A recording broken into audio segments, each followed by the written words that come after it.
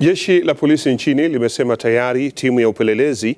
kutoka makao makuu ya jeshi hilo imekwisha kwenda wilaya ya Kyerwa mkoani Kagera kuchunguza na kubaini wahusika wa kusindikiza kahawa za magendo kwenda nchi jirani. Msemaji wa jeshi la polisi Barnabas Mwakalukwa amethibitisha hilo Dar es Salaam, ikiwa ni utekelezaji wa agizo la Waziri Mkuu Kassim Majaliwa. Kufuatia uchunguzi huo, mkuu wa polisi wa wilaya ya Kyerwa,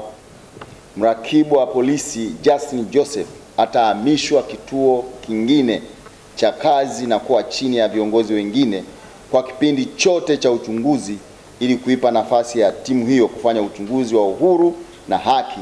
na hatimaye kupata ukweli juu ya tuhuma hizo, na endapo watabainika